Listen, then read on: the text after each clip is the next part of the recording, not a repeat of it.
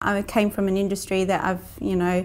not had experience um, of and um, came into this industry and um, they took me under their wing and um, basically uh, showed me through the whole processes of human resources. It was an industry that I was new to and it, when I was looking for a new career I wanted a company that would be able to give me that support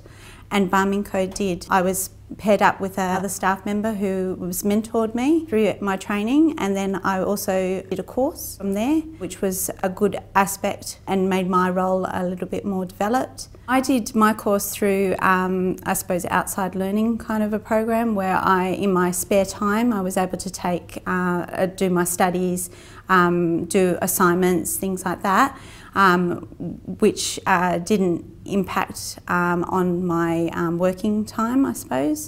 Um, when I didn't require um, extra time off to, you know, when I had a, a deadline for an assignment, things like that, um, you know, my manager was able to give me that time off so I could get that done because he knew that it was a benefit as well. You know, the male staff members are very, you know, welcoming and, you know, there's not that animosity, I suppose, um, because you are a female in a very male orientated um, world. Mining is a very,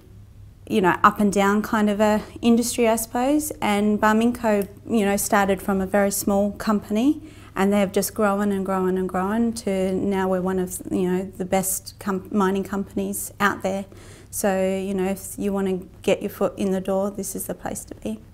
I thrive on variety. I don't like doing a mundane kind of a job and you know definitely in this industry you have variety every day you know you're you're presented with challenges on a daily basis